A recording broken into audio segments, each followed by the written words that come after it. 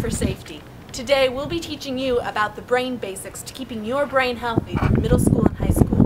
We'll be focusing on smoking, bullying, bike safety, and pot. So hang in there and let's learn about your brain.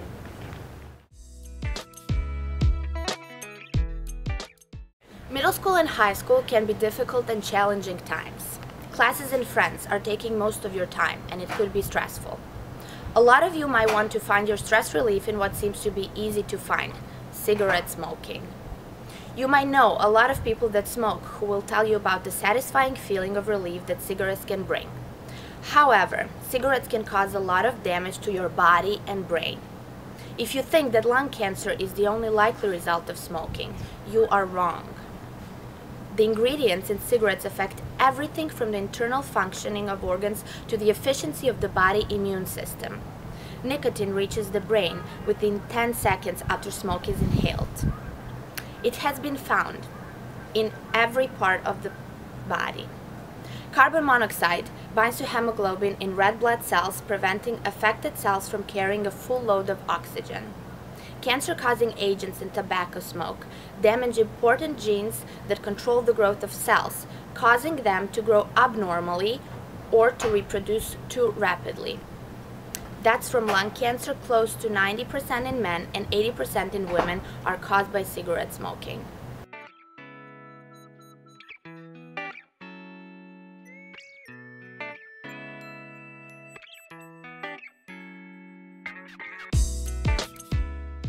In 8 hours, exceed carbon monoxide is cut out of your body. In 5 days, most nicotine is out of your body.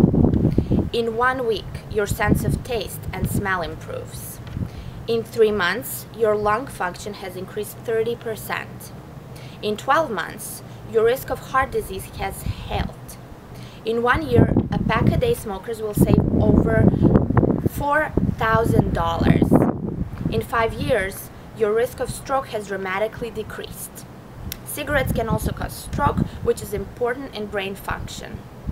So be careful before deciding to, start or continue smoking because every cigarette you don't smoke is doing you good.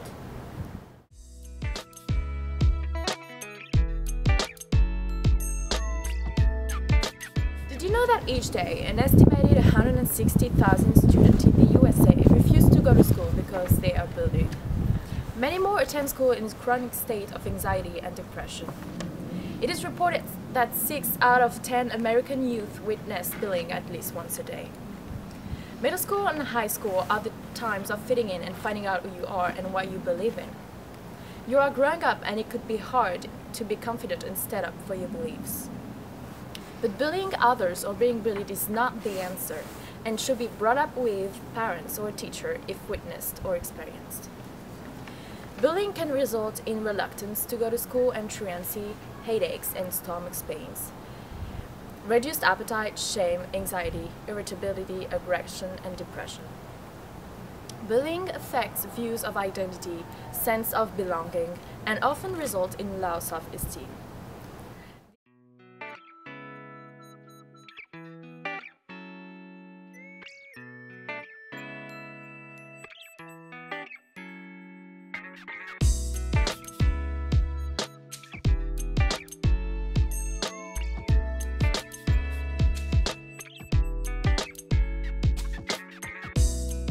The effects of bullying often continue many years in adulthood. It is very important to never engage in bullying others, realizing how much harm it could cause to the other person. At the same time, if ever bullied, don't be shy and talk to adults about it. If you, think, if you think that bullying will just stop one day by itself, you're wrong. Bullying can be expressed in three different ways physical, verbal, and indirect by spreading rumors or telling stories. Even though sometimes it could be even though sometimes it could seem like bullying someone will help you fit in, stay away from it because of its consequences for the other person. On another end, if you're the one getting bullied or want to avoid ever being bullied, here are some ideas for you for what you can do. Walk with awareness, calm and confidence. Live in a positive, powerful way. Don't instigate negative moves or thoughts towards you. Set, set clear boundary with people around you, use a voice and speak up, and avoid name calling. If ever bullied, be persistent with asking for help. Bikes, we all have to use them at one point or another. Now, many of you don't have your driver's license, so bikes are essential in getting you from one place to another. But how many of you wear a helmet while riding your bike? I know helmets are so uncool, however, they are also really important in protecting your brain. Did you know that more than one third of all cyclist deaths occur among school-aged children 5 to 20? Head injuries are also the most serious type of injury and the most common cause of death among cyclists. Studies have proven that bike helmets work to reduce head injury, and finally, 15 states have enacted bike helmet safety laws.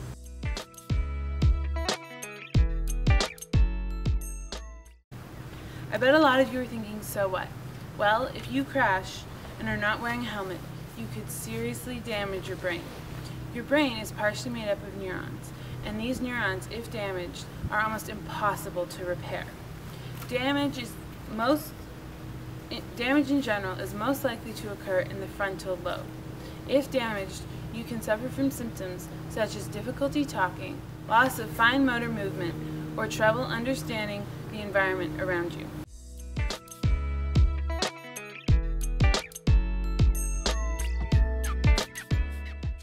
Traumatic brain injury is one of the most serious results of not wearing a bike helmet. Can you imagine having trouble playing your favorite video game not understanding the conversation happening in front of you? Brain damage is no fun, so wear a helmet and protect your brain. I know life can be crazy and confusing. Middle school and high school are the times when fitting in is more important than homework and safety. However, the choices that you make now will affect the rest of your life. Most of the one of the most common drugs that you'll see your friends using in school is marijuana, which is also called pot, weed, grass, dope, a blunt, a joint, or hash. Why is weed so great to smoke? It can cause a sense of euphoria. All stress and anxiety feel non-existent. The active ingredient that can cause pot to be addictive is called THC a substance that is quickly absorbed into your body. Most times this is called getting high or stoned and it can last a few hours.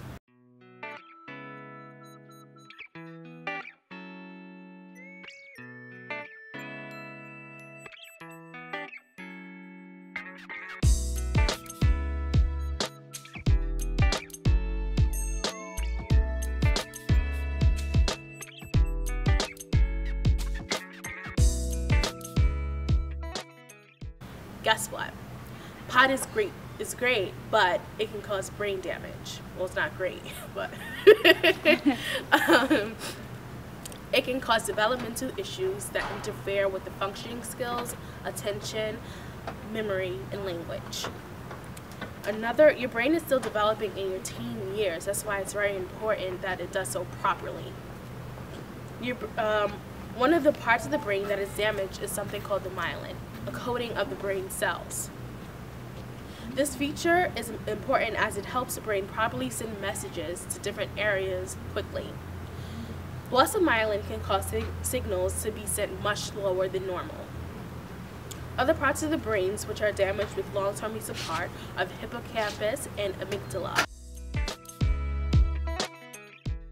which can help with emotion and memory function pass on cannabis, and your brain will thank you.